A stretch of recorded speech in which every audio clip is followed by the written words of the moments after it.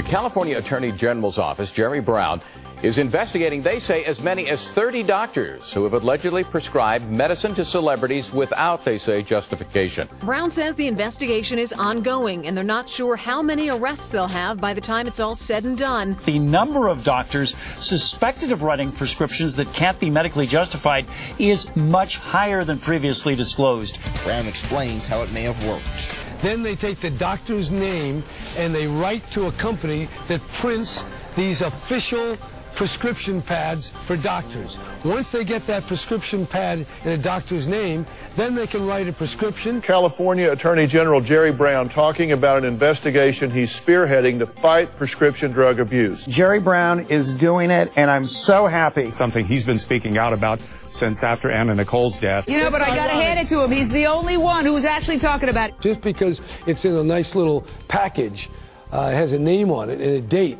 and a doctor's name under it doesn't mean that it can't kill you. He's really been very uh, uh, proactive in talking about all these doctors and the prescription shopping and all that. This is serious stuff. These doctors are worse than the street drug dealers that are dealing heroin because, see, these doctors have sworn an oath to protect us. They're killing us for greed. We have an epidemic of prescription drug abuse. The number of people who are dying from prescription drug overdoses is almost 14,000 people a year, which is very close to the number killed, murdered by handguns. One thing is clear this is a massive problem, not just in California, but across the nation.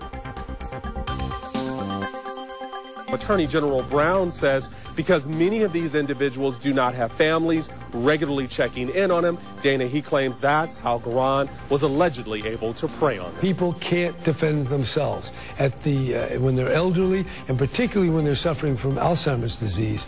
There's no one there uh, but those in charge. And when people abuse that authority, uh, they're going to pay heavily. Several kinds of hairspray now being pulled from store shelves all over California. War on hairspray. Jerry Brown, who's running for governor, says they put too much pollution in the air. Products contain way too much VOC. The only thing I want in my air is a little sunshine. No one was hurt, but State Attorney Gen General Jerry Brown is calling this a case of urban terrorism. State Attorney General, General Jerry Brown, I should say, set up a $200,000 reward in arrest and conviction of anyone related to these attacks. Investigators say it is safe to assume that this is another round of attacks aimed at the department's anti-gang officers. He called these attacks urban terrorism.